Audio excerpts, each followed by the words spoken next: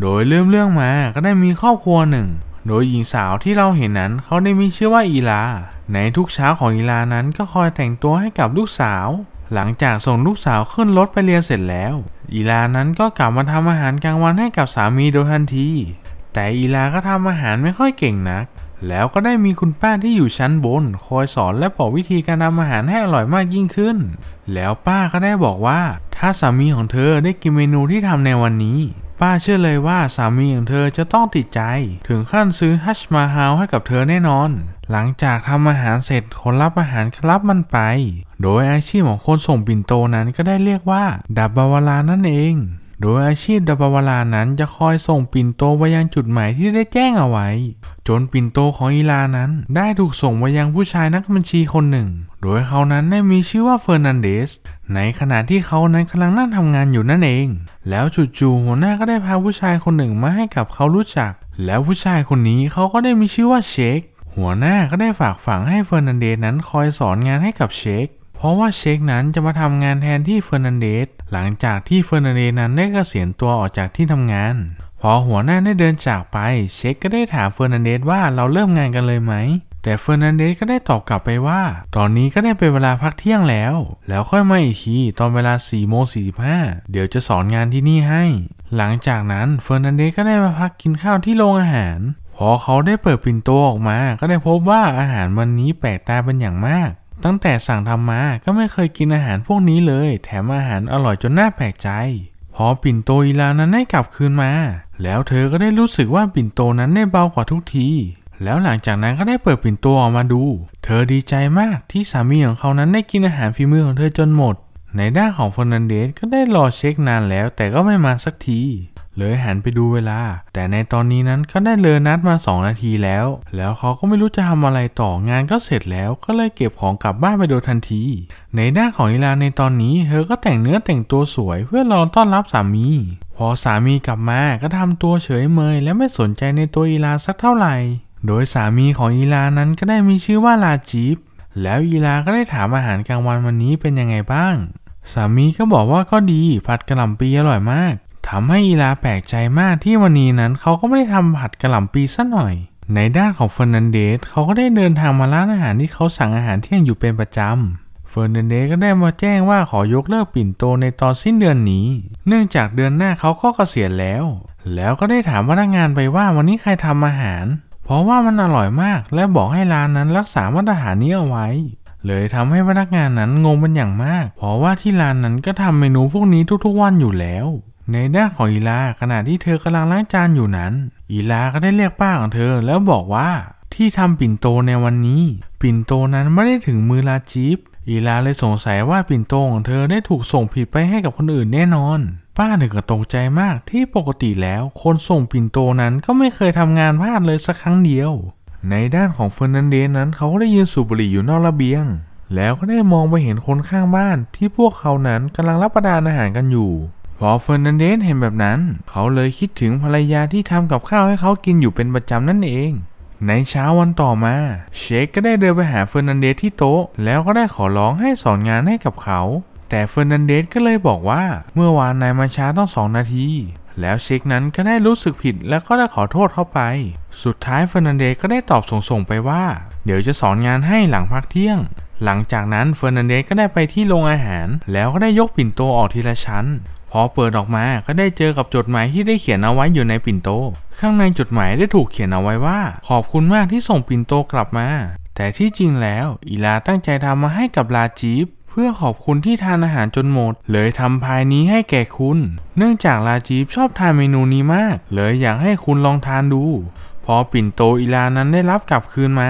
อีลาก็ได้เปิดปิ่นโตดูและได้ดูจดหมายที่มีข้อความตอบกลับมาว่า คุณอีลา อาหารของคุณวันนี้เค็มมากเลยทำให้อีลาเลยเรียกป้าและเล่าเรื่องนี้ให้กับป้าได้ฟังพอป้าได้ยินสิ่งที่อีลาเล่าให้ฟังทำให้ป้านั้นไม่พอใจขนาดทำให้กินแล้วก็ยังไม่ขอบคุณกันอีก ป้าเลยจัดเครื่องเทศสำหรับทำอาหารมื้อต่อไปให้กับอีลา แต่ว่าอีลานั้นก็ไม่อยากทำแล้ว และจะบอกคนส่งปิ่นโตนั้นให้ส่งถึงมือลาจีฟให้ได้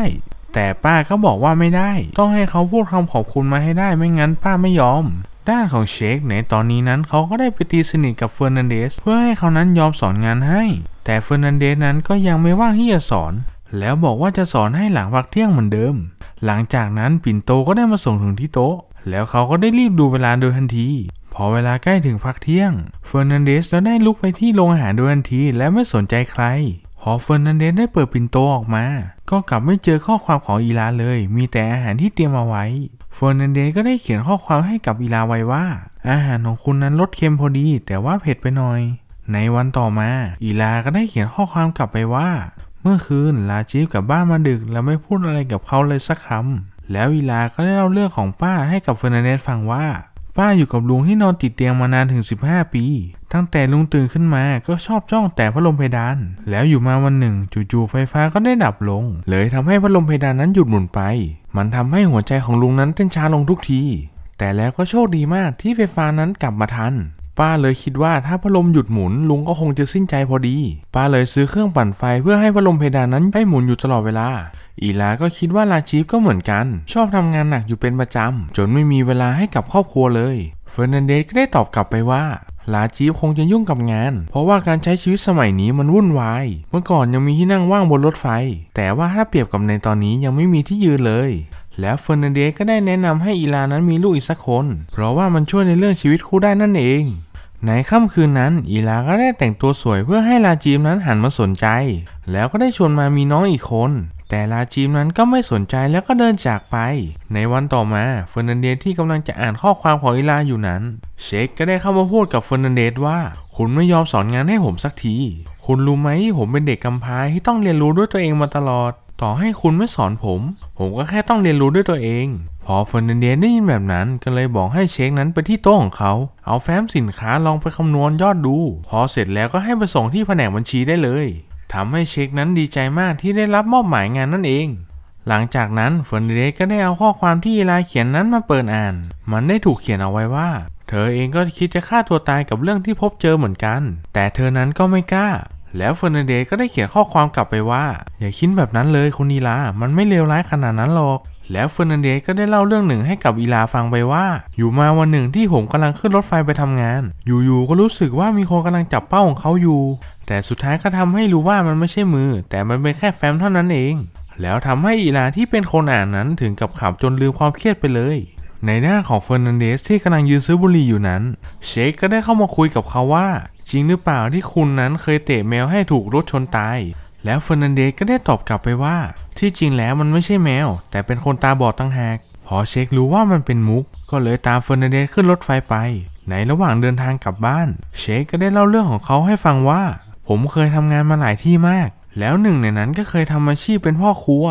ในระหว่างที่เขาเล่าเรื่องต่างๆ อยู่นั้น เชคก็ได้หั่นผักไปด้วย โดยใช้สมุดบัญชีบริษัทนั้นมาเป็นที่รองหั่น พอกลับไปถึงบ้านก็สามารถนำไปทำอาหารได้เลย แล้วเชคก็ได้ชวนเฟอร์นันเดสนั้นไปรับประทานอาหารที่บ้านของเขาด้วยกัน เฟอร์นันเดสก็ได้ตอบกลับไปว่าได้ แต่เป็นคราวหน้าละกัน ในวันต่อมาเฟอร์นันเดสก็ได้รับข้อความจากอีลาได้เขียนเอาไว้ว่าเมื่อคืนราจีฟก็ได้กลับบ้านดึก แล้วก็ได้มีสายโทรศัพท์เข้ามา เขาก็ได้ออกบ้านไปอีก ในวันนี้อีลาก็ได้ลองทำสูตรของคุณย่ามาให้ลองทานดู แล้วสักพักเชคก็ได้มาขอนั่งกับเขาด้วย เชคก็ได้ชมว่าอาหารที่คุณเตรียมมาวันนี้นะมันหอมมาก และน่ารับประทานที่สุดเลย แต่อาหารที่เชคเตรียมมานั้นก็มีแค่กล้วยเท่านั้นเอง พอเฟอร์นันเดสเห็นแบบนั้นเลยสงสารเชคเลยชวนมารับประทานอาหารด้วยกัน ในด้านของอีลา ก็ได้รับข้อความจากเฟอร์นันเดสแล้วได้ถูกเขียนเอาไว้ว่า สูตรอาหารของคุณย่าวันนี้มันอร่อยมาก มันอร่อยกว่ามะเขือยาวที่ผมชอบกินทุกวันซะอีก และช่วงนี้ผมก็มีเรื่องให้คิดมาก ผมเลยกลับมาสูบบุหรี่อีกครั้งหนึ่ง ในวันต่อมาด้านของเฟอร์นันเดสที่กำลังรับประทานอาหารอยู่นั้น เชคก็ได้ขอมานั่งด้วย โดยวันนี้เชคก็ได้เตรียมแอปเปิลและกล้วยมารับประทานอาหารที่โต๊ะด้วยพอเฟอร์นันเดสเห็นเชคอยากทาน ก็เลยชวนเชคมาทานด้วยกันอีก พอถึงเวลางานเฟอร์นันเดสก็ได้แอบอ่านข้อความจากอีลา แล้วในข้อความได้ถูกเขียนเอาไว้ว่า เมื่อนานมาแล้วพ่อของอีลานั้นก็เป็นมะเร็งที่ปอด เนื่องจากสูบบุหรี่มากเกินไป พอเฟอร์นันเดสได้อ่านแบบนั้น ก็เลยทำให้เขานั้นเลิกสูบบุหรี่ไปเลย ในด้านของอีลาในตอนนี้ที่กำลังจะซักผ้าให้กับลาจีบแล้วเธอก็ได้กลิ่นแปลกๆจากเสื้อลาจีบออกมา เลยทำให้อีลานั้นกังวลมาก หลังจากนั้นอีลาและลูกสาวก็ได้พาไปเยี่ยมแม่ของตน อพออีลาไปถึงก็ได้ถามถ่ายเรื่องพ่อของเขา เลยทำให้รู้ว่า พ่อมีค่าใช้จ่ายในการรักษาที่สูง แม่ของอีลาเลยต้องจำใจที่จะขายของในบ้าน เพื่อเอาเงินส่วนนั้นมารักษาให้กับสามีของตน อีลาก็คิดที่จะเอาตังค์ให้กับแม่ แต่คนเป็นแม่นั้นก็กลับปฏิเสธ เพราะรู้ว่าเป็นเงินของลาจีฟแล้วอีลานั้นก็ได้เกลี้ยกล่อมจนสำเร็จคนเป็นแม่ก็เลยรับเงินไป เนื่องจากเขานั้นหลังชนฝาแล้วในตอนนี้ ในด้านของเฟอร์นันเดสก็ได้อ่านข้อความที่อีลานั้นตอบกลับมาว่า เขานั้นไม่สบายใจเลยที่ได้รู้ว่าลาจีฟนั้นแอบนอกใจ แล้วก็ได้ถามไปอีกว่า คุณคิดว่าฉันควรไปอยู่ที่ไหนดี ไปอยู่ภูตานดีไหม ในด้านของอีลาก็ได้อ่านข้อความที่ตอบกลับมาว่า ถ้าเป็นแบบนั้นผมจะไปอยู่ภูตานกับคุณด้วย ในวันต่อมาเฟอร์นันเดสก็ได้อ่านข้อความที่ตอบกลับมาว่า จะไปภูตานด้วยกันยังไง ฉันยังไม่รู้จักชื่อคุณเลย ในระหว่างนั้นเชคก็ได้มาขอนั่งที่โต๊ะด้วย แล้วก็ได้แซวเฟอร์นันเดสไปว่า เวลาคุณยิ้มแล้วหน้าเด็กลงไป 10 ปีเลย ในด้านของอีลาพอปิ่นโตมาถึงเขาก็ได้อ่านข้อความโดยทันที พออีลาอ่านเสร็จก็ได้ขอให้ป้านั้นเปิดเพลงจากหนังเรื่องซาจันให้เขาฟัง ในวันต่อมาเฟอร์นันเดสก็ได้อ่านข้อความที่อีลานั้นตอบกลับมาว่า มีเรื่องที่อยากบอกคุณด้วยตัวเองงั้นก็ไปเจอกันที่ร้านคาเฟ่ในวันพรุ่งนี้บ่ายโมงตรง หลังจากพักเที่ยงแล้วหัวหน้าก็ได้เรียกเฟอร์นันเดสและเชคเข้าพบที่ห้อง โดยที่หัวหน้าเรียกมานั้น จะเป็นเรื่องของสมุดบัญชี ที่เชคนั้นคิดผิดหมดเลย โดยหัวหน้านั้นผิดหวังเป็นอย่างมาก แล้วก็คิดที่จะไล่เช็คออก แต่เฟอร์นันเดสนั้นก็ได้ปกป้องเช็คเอาไว้ และบอกอีกว่า เดี๋ยวผมเป็นคนดูแลสั่งสอนเพิ่มเอง แล้วหัวหน้าก็เชื่อใจในตัวของเฟอร์นันเดส เพราะเขานั้นทำงานที่นี่มา 35 ปีแล้ว และเขานั้นก็ไม่เคยทำงานพลาดเลยสักครั้งเดียว ก่อนที่ทั้งคู่นั้นจะออกห้องไป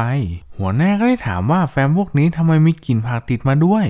ทั้งสองคนนั้นก็แอบตีเนียนทำเป็นไม่รู้แล้วก็เดินออกห้องไป หลังจากนั้นเชคก็ได้มาขอบคุณที่ช่วยเหลือเขาเอาไว้ แต่เชคก็ได้โดนด่าไปว่า ใครเป็นคนบอกนายใช้วุฒิปลอมมาสมัครงาน ทั้งๆที่นายทำอะไรไม่เป็นเลยสักอย่าง แล้วเชคก็ได้บอกว่าคุณต้องสอนผม เพราะว่าคราวหน้าผมจะได้ไม่ต้องทำพลาดอีก พอเฟอร์นันเดสได้ยินแบบนั้นก็เลยตัดสินใจจะสอนงานทุกอย่างให้ หลังเลิกงานเชคก็ได้เชิญเฟอร์นันเดสนั้นมารับประทานอาหารที่บ้าน เลยทำให้เฟอร์นันเดสนั้นได้รู้ว่า สาเหตุที่เชคนั้นมาทำงานที่เดียวกับเขานั้นก็คือ พ่อตาจะยอมให้แต่งงานต่อเมื่อเชคนั้นมีการงานที่มั่นคงแล้วเชคก็ได้บอกเฟอร์นันเดสว่า ในงานแต่งงานญาติของฝั่งภรรยานั้นจะมาเต็มงานกันไปหมด แต่ผมนี่สิเป็นเด็กกำพร้าตั้งแต่เกิด และไม่มีครอบครัวกับใครเขาหรอก เลยจะชวนเฟอร์นันเดสนั้นมาเป็นญาติผู้ใหญ่ให้กับเขาหน่อย แล้วเฟอร์นันเดสก็ได้ตอบตกลงไป ในวันต่อมาเฟอร์นันเดสก็ได้แต่งตัวรอ เพื่อที่จะไปเจอกับอีลาที่ได้นัดเอาไว้ ในระหว่างที่เฟอร์นันเดสกำลังยืนอยู่บนรถไฟนั้น ก็ได้มีเด็กหนุ่มคนหนึ่งได้ทักเขาว่า คุณลุงเชิญนั่งแทนผมเลยไม่ต้องเกรงใจพอเฟอร์นันเดสได้ยินแบบนั้น เลยทำให้เขานั้นเสียความมั่นใจที่จะไปเจอกับอีลานั่นเอง ในด้านของอีลานั้นก็ได้แต่ทำหน้าเซ็ง ที่มานั่งรอที่ร้านคาเฟ่หลายชั่วโมงแล้ว แต่เฟอร์นันเดสนั้นก็ไม่มาสักที เลยทำให้รู้สึกผิดหวังกับการนัดครั้งนี้เป็นอย่างมาก ในวันต่อมาเฟอร์นันเดสก็ได้รับปิ่นโตตามปกติ พอเขาเปิดดูก็ไม่เจอกับอาหารในปิ่นโตเลย แล้วก็ได้ส่งข้อความกลับไปถึงอีลาว่า มันก็สมควรแล้วแหละ ที่ผมนั้นไม่ได้รับอาหารจากคุณ ในเมื่อวานผมก็ได้ไปร้านที่คาเฟ่แต่ไม่กล้าเจอคุณ เพราะว่าคุณทั้งสาวและสวยและยังมีอนาคตอีกไกล ในวันต่อมาเฟอร์นันเดสก็ได้มางานแต่งของเชคที่ได้สัญญาไว้ โดยฝั่งของเจ้าสาวนั้นก็มีญาติผู้ใหญ่เยอะแยะเต็มงานไปหมดเลย ส่วนฝั่งของเจ้าบ่าวก็มีแค่เฟอร์นันเดสที่เป็นญาติผู้ใหญ่ให้กับเขานั่นเอง ก่อนที่เฟอร์นันเดสนั้นจะกลับบ้านเกิดของเขา ก็ได้พูดทิ้งท้ายเอาไว้ว่านายต้องตั้งใจทำงาน ดูแลคนในครอบครัว แล้วนายจะเป็นสามีที่ดีได้แน่นอน เชคนายก็อย่าลืมไปเยี่ยมหาที่นาซิกกันบ้าง ในด้านของอีลาในตอนนี้นั้น เขาก็ได้คุยกับคนส่งปิ่นโตว่า ปิ่นโตที่ถูกส่งไปในทุกวันนี้ มันส่งผิดคน ปิ่นโตที่ถูกส่งไปนั้นมันไม่ถึงสามีของเขานั่นเอง ต่อให้พูดไปกี่รอบต่อกี่รอบ คนส่งปิ่นโตนั้นก็ยืนยันว่าเขาส่งถูกที่แล้ว แล้วอีลานั้นก็ได้ขอที่อยู่ปิ่นโตที่ได้ถูกส่งไป หลังจากนั้นอีลาก็ได้มาตามที่อยู่ของปิ่นโต เพื่อที่มาเจอกับเฟอร์นันเดสแต่พอมาถึงก็ได้มาเจอกับเชค ที่เขานั้นนั่งทำงานแทนที่เฟอร์นันเดสไปแล้ว อีลาก็ได้ถามไปว่าคุณคือเฟอร์นันเดสใช่ไหม เชคก็เลยบอกว่าไม่ใช่ เฟอร์นันเดสเขาได้เกษียณไปแล้ว แล้วก็ได้กลับบ้านเกิดที่นาซิกไปแล้วนั่นเอง ในเช้าวันต่อมาหลังจากที่อีลาได้ส่งลูกไปโรงเรียนเสร็จแล้ว เธอก็ได้มีข้อความที่จะส่งให้กับเฟอร์นันเดสแต่ว่าอีลานั้นก็ไม่รู้จะส่งไว้ให้ทางไหนดี ในข้อความได้ถูกเขียนเอาไว้ว่า ในตอนนี้นั้นคุณน่าจะอยู่ในนาซิกแล้ว ส่วนฉันก็ได้ขายเครื่องประดับที่มีค่าไปหมดแล้ว เพื่อจะใช้เงินส่วนนั้นไปอยู่ที่ภูตาน โดยเงินเหล่านั้นก็คงจะเลี้ยงปากเลี้ยงท้องเธอกับลูกได้ อีลาก็ได้เก็บข้าวของไว้เรียบร้อยแล้ว ในตอนนี้ก็แค่รอลูกสาวกลับมา แล้วจะย้ายออกไปที่ภูตานในทันทีในด้านของเฟอร์นันเดสในตอนนี้นั้น เขาได้มาถามที่อยู่จากคนส่งปิ่นโตว่ามันถูกส่งมาจากที่ไหน แล้วเขาก็ได้เดินทางไปหาเธอตามที่อยู่นั่นเองครับ ก็จบลงไปแล้วนะครับ กับภาพยนตร์ที่มีชื่อเรื่องว่า The Lunchbox เมนูต้องมนลัก